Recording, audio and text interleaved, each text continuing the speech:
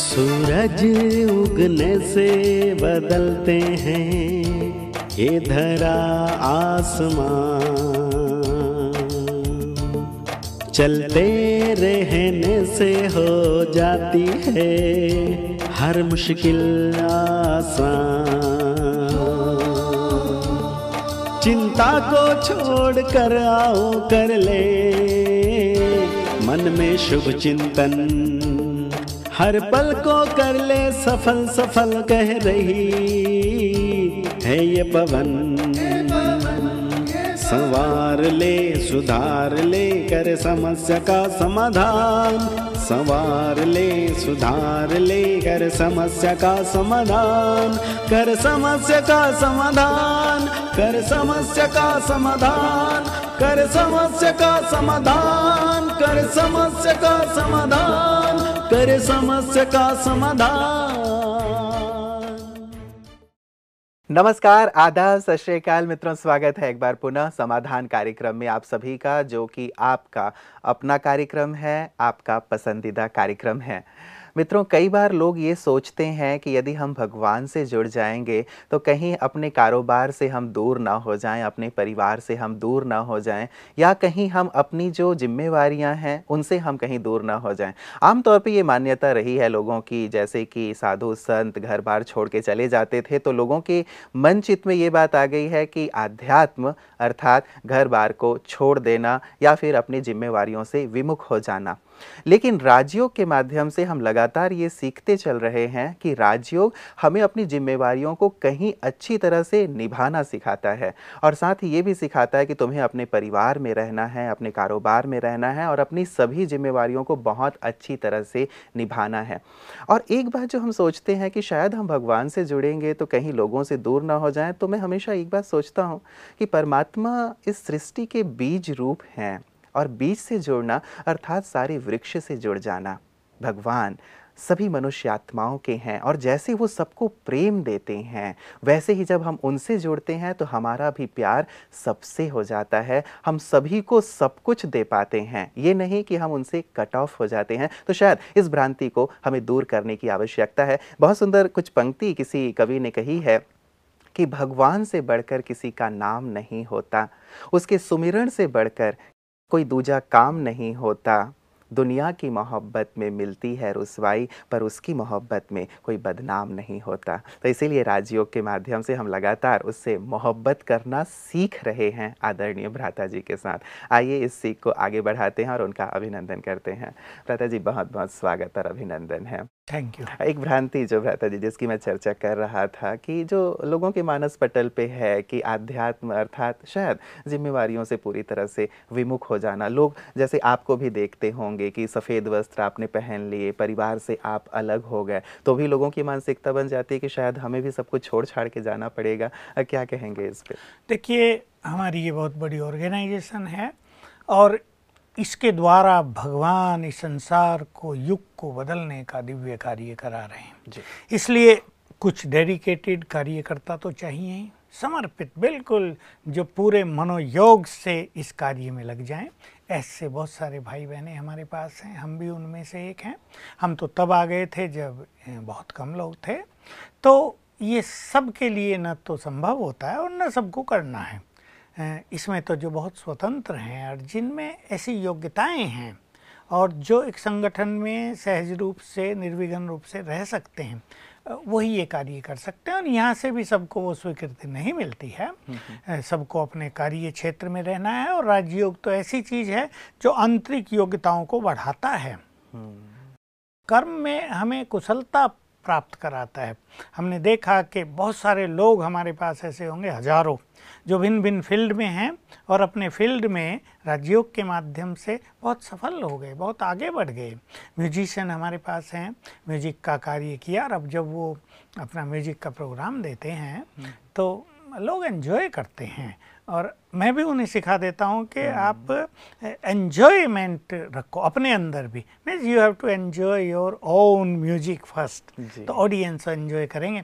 तो हर क्षेत्र में कोई कवि है तो कवित्व के क्षेत्र में कोई साहित्यकार है तो साहित्य के क्षेत्र में कोई गृहिणी है तो उस क्षेत्र में। अगर वो राजयोग का ठीक ठीक अभ्यास करे तो उसके कर्मों में कुशलता आएगी अनेक योग्यताएँ उसमें बढ़ेंगी और उसको ये संकल्प होगा ही नहीं कि कर्म छोड़कर हमें कहीं जाना है। हम्म, हम्म। क्योंकि कर्म को मनुष्य अधिक एंजॉय करता है और कर्म में जब अनेक चीज़ें उसे सीखने को मिलती हैं तो मनुष्य को एक विशेष रूप से अंदर में आनंद और संतोष और गर्व की अनुभूति होती है। और वैसे भी गीता में कहा भी गया है भ्राता जी कि योग कर्मेशु कौशलम कि योग कर्म संन्यास नहीं सिखा रहा है राजयोग बल्कि कर्म में कुशलता प्रदान कर रहा है आपकी क्षमताओं को बढ़ा रहा है। लेकिन शायद इस चीज़ को लोग नहीं समझ पाते हैं। और ये समझते जैसे कल भी हम रीचा जी की बात कर रहे थे कि उनके परिवार वाले उन्हें नहीं जाने देते हैं तो शायद कहीं ना कहीं मन में ये रहता होगा कि यदि वहाँ जाएगी तो सफ़ेद कपड़े पहन के कहीं निकल ना जाए, घर बार को छोड़ के तो ये भी डर शायद उनके मन में होगा, इसलिए शायद वो जाने नहीं देते होंगे।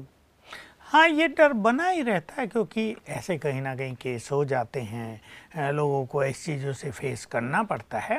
लेकिन हमारे यहाँ कोई ऐसी बात नहीं इसलिए किसी को इन चीज़ों से डरने की ज़रूरत नहीं। राजयोग सीखें अपने घर ग्रस्त में रहें हम्म। जो कार्य करते हैं वही करें और उनको और एफिशिएंट बनाएँ। बिल्कुल।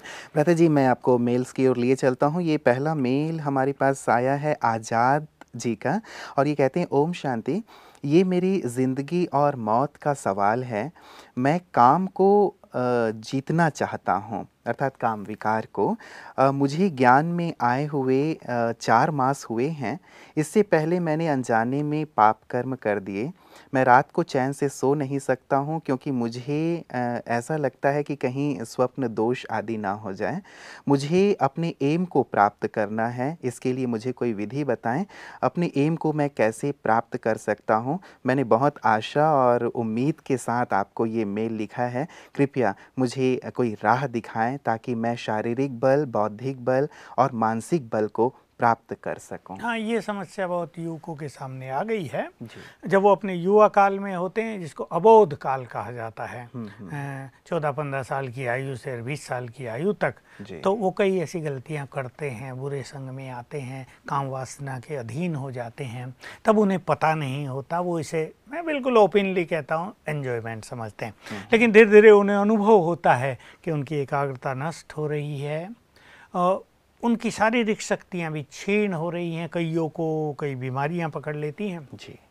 कईयों को जीवन में फिर सुख शांति नहीं मिलती है और नींद में उन्हें बुरे स्वप्न आते हैं हम्म। कई तरह की इन्होंने भी लिखा है जी कि हाँ, नींद नहीं आती नींद नहीं आती। तो फिर मनुष्य सोचता है कि अब इस मार्ग से हट जाना चाहिए। हम्म। तो ये मैं इसको अप्रिशिएट करूँगा कि ये राजयोग के मार्ग पर आ गए हैं। तो अब निश्चित रूप से मार्ग this is the path of purification इनका चित्त शुद्ध होगा और बहुत अच्छी तरह ही अपने लाइफ को एंजॉय करेंगे। नहीं तो बहुत सारे युवक हमें ऐसे मिलते हैं जिन्होंने अपना ये युवा काल इस गंदगी में बिता दिया बुरे संग में पढ़कर और पूरा जीवन अब पश्चाताप की अग्नि में जल रहे हैं। न ग्रस्त जीवन का सुख वो ले रहे हैं न संबंधों में मिठास है न कामकाज में मन लगता है इरिटेट रहते हैं डिप्रेस रहते हैं। एक तरह से जीवन का सुख चला गया है। और इन्होंने भी लिखा ही हाँ। बात है जी कि इनके जीवन और मृत्यु का प्रश्न है। मतलब ये इतने ज़्यादा निराश हो गए हाँ। हैं कि आगे क्या तो अब अब इन्हें निराश होने की आवश्यकता नहीं। इन्होंने प्रभु मार्ग अपना लिया है। मैं ऐसा कहूँगा, ये अपने परम पिता की शरण में आ गए हैं।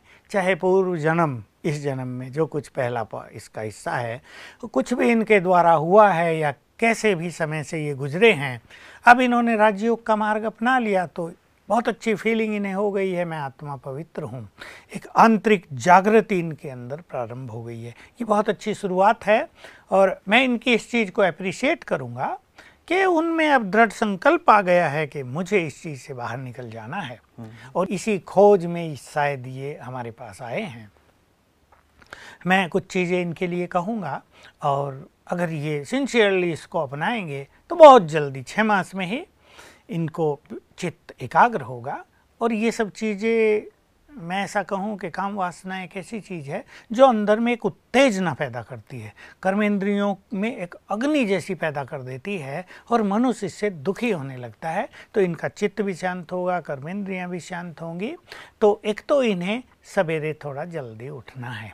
अपनी दिनचर्या को ऐसा सेट कर लें कि ये नहीं देर से सो रहे, बारह, एक बजे सो रहे हैं, ये दस, साढ़े दस बजे तक सो जाएँ और चार बजे उठने का लक्ष्य बनाएँ। थोड़ा बाहर घूमेंगे प्रकृति में थोड़े ठंडे पानी से स्नान करेंगे प्रकृति का सुख लेंगे। ये जस्ट ऊपर की ओर देखकर विचार करेंगे कितना सुंदर संसार है प्रकृति कितनी सुंदर है। ये जीवन का आनंद लोग मिस कर रहे हैं सोकर। ऐसे समय में सब सोए हुए हैं जब परमात्म प्यार बरस रहा है जब उसकी ब्लेसिंग्स आ रही हैं जब वो भाग्य बांट रहा है। इस तरह के विचारों से ये सवेरे के समय को आनंदित करें। इनको विशेष रूप से मन को स्पिरिचुअल आनंद देने की आवश्यकता है। तो उस आनंद में जो ये बह गए थे, जो क्षणिक था, जो विनाशकारी था उससे बिल्कुल ये हट जाएँगे डिटैच हो जाएँगे क्योंकि ये चीज़ें ऐसी हैं कि मनुष्य ने छोड़ तो देता है लेकिन मन बार बार उधर भटकता है। हम्म। मन में बार बार उस तरह के संकल्प आते हैं बार बार उस तरह के स्वप्न आते हैं और मनुष्य दुखी हो जाता है। तो सवेरे से सुंदर विचारों से ये अपने को चार्ज करेंगे एनर्जेटिक करेंगे आनंदित करेंगे। विशेष रूप से मैं ये कहूँगा फिर इनको करना है राजयोग मेडिटेशन और ये सुंदर समय व्यतीत करें फिर आधा घंटा पौना घंटा एक घंटा। हमारे यहाँ उसकी कमेंट्रीज हैं क्योंकि अभी चार मास के ही हैं हम्म। तो इनकी एकाग्रता बहुत अच्छी हो ही नहीं सकती क्योंकि जो विषय वासनाओं में रहा हो उसका चित्त एकाग्र नहीं होता है। ये अच्छे गीत बजाएँ। ये परमात्म प्रेम में मगन होने का अभ्यास करें। हम्म। ये अभ्यास इनको बहुत काम देगा। एकाग्र चित्त को करें मन इधर कहीं न जाए ये अभी ना सोचें।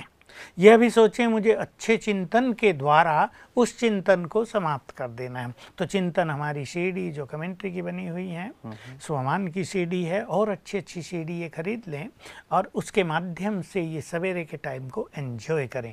ये एकाग्रता की खींचातान में अभी बिल्कुल नहीं जाएँगे। एक अभ्यास जो इन्हें विशेष रूप से सवेरे बहुत अच्छी तरह करना है मैं आत्मा ये देह अलग। बिल्कुल। Detachment separation feeling of separation ये अलग है। मैं आत्मा अलग हूँ मैं तो पवित्र हूँ मैं तो शांत हूँ मैं तो शुद्ध हूँ मैं तो शिव बाबा का बच्चा हूँ। तो जैसा मैं कह रहा हूँ इनको कंसंट्रेशन छोड़ के मेडिटेशन की ओर ज़्यादा अग्रसर होना है यानी मन में सुंदर विचार उत्पन्न करने हैं। कुछ दिनों के लिए इन्हें एक चीज़ और अपना लेनी चाहिए भोजन। न केवल सात्विक भोजन लेकिन ये कच्चा भोजन लें सब्ज़ियाँ फल ये सब चीज़ें जो आती हैं गाय का दूध इस पर ये कुछ दिन व्यतीत करें मैं कहूँगा पहले सात दिन करें हम्म। फिर हल्का हल्का भोजन लें फ्रूट और सलाद पर और कच्ची सब्जियों पर रहें, फिर सब्ज़ियाँ खाएँ, भले ही उन्हें बॉयल कर लें या सब्ज़ी बना लें। इस तरह भोजन को बहुत लाइट कर दें। तो ये जो भोजन है, ये हमारे अंदर को बहुत शुद्ध कर देता है, काम वासना को नष्ट कर देता है। इन्हें लाल मिर्च, चाय आदि बहुत ज़्यादा तले भुने चीज़ें, ये सब खाना आप छोड़ देना है, ताकि कर्मेंद्रियाँ शांत हो जाएँ। और विशेष रूप से लहसुन प्याज का तो परफेक्टली त्याग क्योंकि ये काम उत्तेजक हैं दोनों चीज़ें हम्म। इनका पूरी तरह त्याग करके और ऐसे ही श्याम के समय भी ये आधा घंटा मेडिटेशन में अवश्य व्यतीत करें रोज ईश्वरी महावाक्य सुनने सेवा केंद्र पर जाएँ हम्म। और इन्होंने जो थोड़े ये विकर्म कर लिए हैं इसको नष्ट करने के लिए ये वहाँ जाकर यज्ञ सेवा अवश्य करें भगवान ने जो यज्ञ रचा है, जो हमारे सेवा केंद्र हैं, वहाँ ये सेवा करें तो इनका माइंड भी उधर लगेगा, इनके पुण्य भी जमा होंगे और इस दुविधा से ये बहुत जल्दी बाहर आ जाएँगे। दो तीन चीज़ें प्रता जी, विशेष करके मैं जानना चाहूँगा इस विषय में, क्योंकि आजकल का जैसे युवा वर्ग है या जैसे ही हम युवा काल की ओर बढ़ रहे हैं तो कई बार सही मार्गदर्शन हमें प्राप्त नहीं होता, चाहे माता पिता का, चाहे शिक्षकों का। तो ऐसे में जब बच्चा बड़ा हो रहा होता है, तब अपनी जो एक शारीरिक परिवर्तन हो रहा होता है या हार्मोनल चेंजेस हो रहे होते हैं तो अपने संगी साथियों के साथ ही वो कई प्रकार की बातें करता है और वो अधकचरा जो ज्ञान है, वो नीम हकीम खतरे जान वाली जो स्थिति होती है वो ऐसे बच्चों के साथ देखने को मिलती है तो शायद ऐसी स्थिति आ जाती है ऐसे में आप युवाओं को भी पेरेंट्स को भी टीचर्स को भी सभी को क्या संदेश देंगे ताकि हमारा जो ये युवा वर्ग है बहुत इंपॉर्टेंट एक समय होता है उनके जीवन का कैसे वो सेफ़ रह पाए बिल्कुल बहुत अच्छी बात है ये क्योंकि माँ बाप के पास उस तरह की नॉलेज है नहीं हम्म। और माँ बाप भी अपने युवा काल में बहुत माँ बाप इन्हीं स्थितियों से गुजरे हैं हम्म। उनको इनका समाधान कुछ पता होता नहीं नहीं था। और रही बात साथियों की साथियों को तो ज़ीरो हैं वो तो। इसके बारे में उन्हें कोई वो जो भी टेलीविज़न से हाँ, जो भी से या जो भी पत्र पत्रिकाओं वो गंदगी फैलाएँगे। उस उनके पास इसकी कोई नॉलेज नहीं है। लेकिन मैं अपने सभी युवकों को कहूँगा ये टाइम रियली बहुत इम्पोर्टेंट होता है। इसमें यदि कोई अपनी शारीरिक शक्तियों को भी नष्ट कर दे तो बौद्धिक रूप से वो डैमेज हो जाता है लंबे काल के लिए और इसका खामियाजा उसे लंबा समय जीवन में भुगतना पड़ता है। किसी को इरिटेशन के रूप में किसी को डिप्रेशन के रूप में किसी को जीवन में सफल असफलता के रूप में तो किसी को एकाग्रता नष्ट होने के रूप में। हम्म। पढ़ाई में ही थोड़ा एकाग्रता चाहिए। मान लो आगे चल के बैंक में एम्प्लॉय लग गया वहाँ उसको बहुत एकाग्रता चाहिए। हम्म। नहीं तो कुछ का कुछ करेगा और वो फेल हो जाएगा वहाँ पर। इस इसलिए युवा वर्ग को प्योरिटी पर विशेष ध्यान देना चाहिए शारीरिक परिवर्तन आते हैं। और विशेष रूप से ये चीज़ जानने की है माँ बाप अगर बहुत विशियस हैं तो उनके बच्चों में वो विशियस हारमोन्स होते ही हैं बहुत गंदे हारमोन्स होते ही हैं। फिर अगर उनका खान पान बचपन से ही गंदा है आजकल जो रॉयल फैमिली कहलाती है ना उनमें शराब और मांस तो कॉमन बात है। माताएँ अपने बच्चों को खिलाती हैं दादियाँ अपने बच्चों को खिलाती हैं इसके बिना तुम्हारा जीवन कुछ नहीं है। समझते हैं कि शारीरिक ग्रोथ से जुड़ा हुआ लेकिन इससे मानसिक ग्रोथ बिल्कुल नष्ट हो जाता है। और ऐसी नारियों को मैं कहूँगा ये सब छोड़ दें ये आसुरी चीज़ें हैं इनका उपयोग अपने बच्चों को न करें अगर तुम अपने बच्चों को चरित्रवान देखना चाहते हो अगर आप चाहते हो वो अच्छे इंसान बने तो सात्विकता की ओर उन्हें बढ़ाएँगे माँ बाप और दादा दादी भी इस गलत गंदगी के मार्ग की ओर उन्हें अग्रसर न करेंगे। वो खिला तो देंगे अंडे खाओ शारीरिक ग्रोथ होगी लेकिन सेक्सुअल फीलिंग बढ़ेंगी वो गलत मार्ग पर जाएँगे जो आजकल ये बहुत गलत यौन शोषण की हम्म। चर्चाएँ जहाँ तहाँ होती है ये सब इनकी देन है। तो खान पान को अपने को शुद्ध करें विचारों को शुद्ध करें सभी युवक सत साहित्य का अध्ययन करें। गंदी फ़िल्में गंदे टीवी पर जो चित्र आते हैं उनको देखने से परहेज करें क्योंकि वो इनके जीवन को नष्ट करने वाली चीज़ है। तो लक्ष्य रखें हमें मानसिक रूप से अपने को शुद्ध रखना है चरित्र को श्रेष्ठ रखना है अपनी एकाग्रता को बढ़ाना है इसलिए इस गंदगी की ओर नहीं जाना है। भरत जी, कई बार संग बहुत ज़्यादा एक, क्या कहें इंपॉर्टेंट फैक्टर है इन चीज़ों के लिए कि जैसा संग होता है, वैसा ही इन लोगों को रंग लगता है कि संगी साथी यदि वैसा कर रहे हैं, वही चर्चाएँ हो रही हैं तो वो भी उसमें बह जाता है। तो ऐसे में संग कितना महत्व रखता है और कैसा संग हो, कैसा संग ना हो, क्या इस पर भी थोड़ा प्रकाश डालेंगे आप? इस संग ने बहुतों के जीवन को नष्ट कर दिया है। अनेक युवकों के घरों से मुझे फ़ोन आते हैं माताएँ फ़ोन करती हैं उनके फादर फ़ोन करते हैं। हमारा बच्चा अभी 18 साल का जुआ खेल रहा है शराब पी रहा है रात को 12 एक बजे घर पर आता है। हम कुछ कह ही नहीं सकते मरने बांटने को तैयार हो जाता है। हम्म, हम्म। तो ये बुरे संघ का प्रभाव है। युवक इस तरह अंधकार में भटक गए हैं कई तब उन्हें होश नहीं रहती। बाद में चलकर उनकी आँखें खुलती हैं तुम कहाँ थे? इसलिए मैं कहूँगा सभी युवकों को बुरे संग से बचें। इम्पोर्टेंट लाइफ का ये पीरियड होता है। इसमें स्टडी पर ध्यान दें अपने कैरियर को उज्जवल बनाने पर सभी बहुत ध्यान दें। इन व्यसनों से बचें। उनके साथी जो कुछ कुछ ऐसे साथी होते हैं जो अच्छे घरों से होते हैं पैसे वाले वो होते हैं हम्म। कहेंगे पैसा तुम्हें क्या करना है? आओ हमारे साथ एंजॉय करो शराब पी रहे हैं। हम्म। और कुछ गलत चीज़ों में लगे हुए कुछ ऐसे लोग होते हैं ऐसे बच्चे होते हैं जो गलत तरीक़ों से पैसा ले आते हैं घर में ही चोरी करते हैं। हम्म। और वो इस तरह को एन्जॉयमेंट समझते हैं। लेकिन मैं अपने युव को कहूँगा जो अपने माँ बाप का नाम रोशन करना चाहते हैं जो अपने जीवन में कुछ महान कार्य करना चाहते हैं वो इन व्यसनों से, इन विकारी साथियों से बिल्कुल बचें, अच्छे संग में रहें और अपना एक लक्ष्य बना लें कि मुझे तो अब पढ़ाई पर कंसंट्रेट करना है, मुझे तो अपने माँ बाप की इज़्ज़त बढ़ानी है, उनको निश्चिंत करना है। आखिर वो भी तो हमसे कुछ एक्सपेक्ट करते हैं ना? उनकी भी भावनाओं को हमें सम्मान देना है और महान बनना है, अच्छे इंसान बनना है। बिल्कुल। तो युवा वर्ग इस बात का ध्यान रखे भ्राता जी एक लक्ष्य ज़रूर निर्धारित कर ले, क्योंकि लगता है कि जिसके जीवन में एक लक्ष्य होता है महान बनने का, आगे बढ़ने का, चाहे वो एकेडमिक्स में हो, चाहे किसी भी फ़ील्ड में हो तो निश्चित रूप से इन चीज़ों से वो ज़्यादातर मुक्त रहता है और जिनके जीवन का कोई बड़ा लक्ष्य नहीं होता है, वो कहीं ना कहीं इन चीज़ों के आदि तो हो जाते हैं। तो एक बात भ्राता जी रही कि चलिए युवा वर्ग अपने संग का ध्यान रखे, अपना एक सुंदर लक्ष्य बनाए और उसके लिए अपने आप को डेडिकेट कर दे। लेकिन कहते हैं कि बच्चे या जब वो बड़े हो रहे हैं, जब अपनी किशोरावस्था में है तो कच्चे घड़े के समान होते हैं, कोमल पौधे के समान होते हैं, उनको किसी भी शेप में ढाला जा सकता है। तो क्या माता पिता या फिर शिक्षक या समाज का एक कोई जिम्मेवारी ऐसी नहीं बन जाती कि हम अपने बच्चों को ऐसा स्वरूप प्रदान करें? देखिए, ज़िम्मेदारी तो है। जैसा मैंने कहा, समाज का ऐसा संगठित स्वरूप नहीं है। सब अपने अपने में लगे हुए हैं। और आजकल तो क्या हो गया, जब से इलेक्ट्रॉनिक्स के साधन बने हैं, लोगों को टाइम ही नहीं मिलता है। जितने काम धंधे बढ़े हैं दूसरों की ओर तो छोड़ो वो अपने बच्चों की ओर भी देख पाए इसका भी उनके पास टाइम नहीं। इसलिए सोशल सेटअप तो ऐसा नहीं है कि समाज की ओर से बच्चों को कुछ अच्छी चीज़ें सीखने को मिलेंगी। बात रही टीचर्स की टीचर्स बच्चों को बहुत कुछ सिखा सकते हैं लेकिन सिखा नहीं पा रहे हैं। हमारे टीचर्स को बुरा तो अवश्य लगेगा लेकिन टीचर्स को खुद ही सीखने की ज़रूरत पड़ रही है। वही सिगरेट बहुत पीते हैं क्लास में कोई कोई तो शराब पी के चले जाते हैं कोई क्रोध बहुत करते हैं। Morally they are not so great कि बच्चे उनसे कुछ सीखें या बच्चे उनका सम्मान करेंगे। और टीचर्स को क्या है? जो पढ़ लिया, रट लिया, वो आके पढ़ा दिया। एक तो लेक्चरार ऐसी भी हमें मिली जिन्हें ट्यूशन किया हुआ है कि पहले मुझे पढ़ाओ, फिर मैं जाके स्कूल में पढ़ाऊँगी।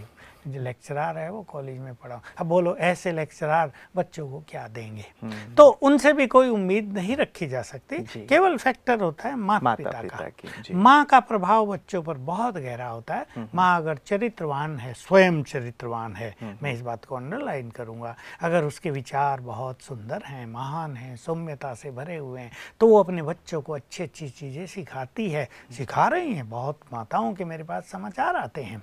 कि माताएँ अपने बच्चों को ऐसा ट्रेंड कर रही हैं। आज भी केवल जीजाबाई की बात ही नहीं, जिसने शिवाजी को तैयार किया, आज भी कुछ माताएँ ऐसी हैं जो अपने बच्चों को अच्छी शिक्षाएँ देती हैं, बड़े प्यार से सिखाती हैं, लड़कियों को अच्छी ट्रेनिंग देती हैं। तो लड़कियाँ भी चरित्रवान रहती हैं, बच्चे बड़े आज्ञाकारी रहते हैं। तो टीचर्स का भी ये कर्तव्य है कि वो केवल उन्हें पढ़ाएँ नहीं जो किताबों में है, उन्हें अच्छी चीज़ें भी सिखाएँ। हम तो चाहेंगे हमारी एजुकेशन का स्वरूप थोड़ा टर्न हो और ये मॉरल एजुकेशन टीचर खुद देने लगे हालाँकि हमारे विश्वविद्यालय की ओर से भी दी जा रही है हम्म, हम्म। लेकिन टीचर का प्रभाव ज़्यादा रहता है लेकिन इसके लिए टीचर को मोरली खुद थोड़ा ऊँचा बनना पड़ेगा। तब उनके बोल का प्रभाव विद्यार्थियों पर रहेगा इसलिए मैं तो हमेशा कहता हूँ कि अगर देश का निर्माण कोई कर सकता है तो वो शिक्षक लेकिन हम्म। शिक्षक को सच्चे अर्थों में शिक्षक बनना पड़ेगा। बिल्कुल। डॉक्टर राधा कृष्णन जी ने भी कहा था भ्राता जी कि राष्ट्र का निर्माण संसद में संभव नहीं है हाँ। ये विद्यालय में संभव है क्योंकि हाँ। वहाँ जो बच्चे पढ़ रहे हैं वही राष्ट्र के भविष्य हैं। वहाँ हम उनको क्या सिखा रहे हैं क्या दे रहे हैं उसकी बहुत ज़्यादा आवश्यकता है। तो सचमुच गवर्नमेंट को भी इस विषय पे बहुत ज़्यादा ध्यान देने की आवश्यकता है। एक बात जो भ्राता जी आज़ाद ने कही थी कि अभी रात को सोने से पहले भी उसके अंदर बहुत ज़्यादा भय होता है कि कहीं मुझे एक तो नींद ठीक से आएगी या नहीं आएगी और यदि आई भी तो कहीं जो उसने एक स्वप्न दोष की बात कही थी कहीं वो ना हो। तो ऐसे एक ऊहापोह की स्थिति में जो है इतना तनाव में है टेंशन में है कई युवा संभवतः ऐसी स्थिति से गुजर रहे हों वो क्या करें रात को सोने से पहले? हम लोग ये करा ही रहे हैं अपने यहाँ आने वालों को कि सोने से पहले अगर ऐसी स्थिति है तो आधा घंटा स्पेयर करेंगे। हम्म, हम्म। और आधे घंटे में स्पिरिचुअली भी अपने को तैयार करें। कुछ पंद्रह मिनट अच्छे साहित्य का अध्ययन करें। हमारे यहाँ बहुत अच्छे साहित्य हैं जिन्हें हम अव्यक्त महावाक्य कहते हैं। उनमें गूढ़ ज्ञान भरा हुआ है। मनुष्य के दिमाग को खोल दे उसके विचारों को महान बना दे। दस मिनट भी अगर उसको पढ़ लिया जाए तो एक नई चेतना आ जाती है। और फिर दस पंद्रह मिनट अच्छा मेडिटेशन करके सोएँगे तो बिल्कुल निर्भय रहें कि ये स्थिति होगी नहीं। और अगर कभी हो भी जाए तो उसको माइंड नहीं करना है।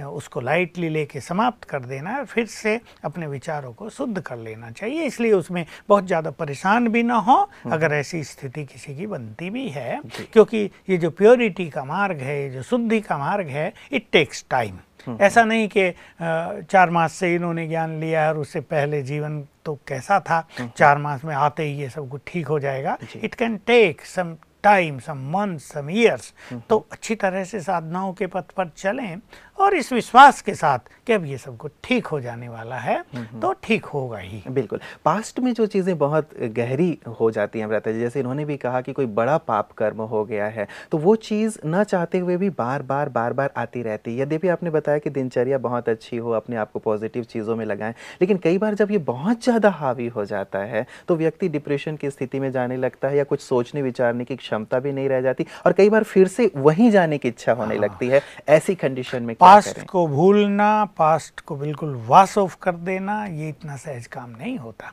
कईयों के पास्ट में कुछ दुख भरी घटनाएँ ऐसी हो गई हैं वो उन्हें चैन से सोने नहीं दे रही हैं। कईयों के पास का ऐसा ही हो गया जैसे इस युवक ने लिखा है जिसे संसार का अपने भविष्य का कुछ ख्याल ही नहीं था अपने माँ बाप का अपने परिवार की इज़्ज़त का ख्याल ही नहीं था ऐसा पास पाँच सात साल भी बीत गया है। हम्म। अब जब वो शुद्धि के मार्ग पे आया है तो वो डेफिनेटली एक क्लैश होता है। वो अशुद्धि और अब की शुद्धि दोनों के बीच में एक अच्छा संघर्ष होने की संभावना रहती है। लेकिन हम राजयोग के अभ्यास में स्वमान की प्रैक्टिस कराते हैं। पाँच स्वरूपों का अभ्यास करना सिखाते हैं। आत्मा का अनादि स्वरूप उसका आदि स्वरूप उसका पूज्य स्वरूप वर्तमान का ब्राह्मण स्वरूप और अंत का फरिश्ता स्वरूप। इन पाँचों स्वरूपों का अभ्यास करने से ये श्रेष्ठ स्मृतियाँ हैं। इनको बार बार अपने अंदर लाने से पास्ट की स्मृतियाँ भूलने लगेंगी और लाइन क्लियर हो जाएगी। चलिए, बहुत सुंदर बात भ्राता जी आपने रखी है।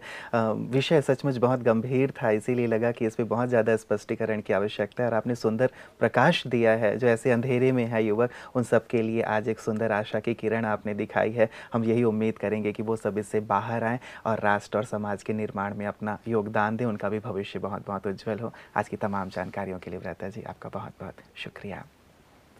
मित्रों वास्तव में जीवन का ये जो पल है, जिसमें हमें निर्णय करना होता है कि जीवन को हमें किस ओर ले जाना है, बहुत ही नाजुक पल है। यद्यपि माता पिता शिक्षक, समाज सबकी जिम्मेवारी बनती ही है, लेकिन जीवन आखिर हमारा है। हमें भी अपने विवेक का प्रयोग अवश्य करना चाहिए। आज़ाद ने हमें ये मेल लिखा था तो आज़ाद मैं यही कहूँगा कि चंद्रशेखर आज़ाद भी हमारे देश में जब याद किए जाते हैं बच्चा बच्चा उन्हें कितने प्यार और सम्मान से याद करता है क्योंकि उसने अपना जीवन देश के लिए कुर्बान किया था। उसने कुछ ऐसा किया था जिसके माध्यम से आज भी लोग उन्हें याद करके अपने जीवन में उनको लाने की कोशिश करते हैं, वैसा ही आदर्श बनने की कोशिश करते हैं। आपका भी नाम आज़ाद है। क्यों ना आप भी ये ठान लें कि मुझे भी देश के लिए, समाज के लिए, अपने लिए कुछ ऐसा कर गुजरना है कि मेरे जाने के बाद भी लोग मुझे सम्मान से और इज़्ज़त से याद रखें। और ये तो है ही कि व्यक्ति जब ठान लेता है, संकल्प कर लेता है तो जीवन में परिवर्तन की शुरुआत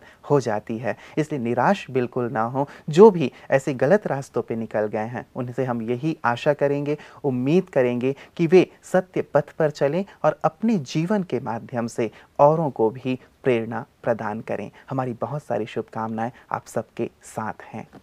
नमस्कार।